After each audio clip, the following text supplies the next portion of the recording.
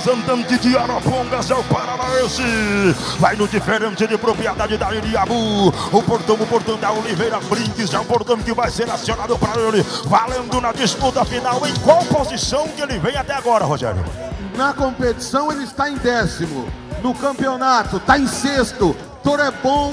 Se rodar na canhota, vem mostra, Henrique. Agora da produtora ele vem Henrique Nunes, ele é o Paranaense de Arapongas, abriu a ponteira na disputa da Paranaense, você agora entrou na sua mão, agora aproveitar dentro do corpo, perdeu, basta o tudo pra você na disputa final, bora! Somente quem gostou, levante a mão pra cima e bate palmas ele!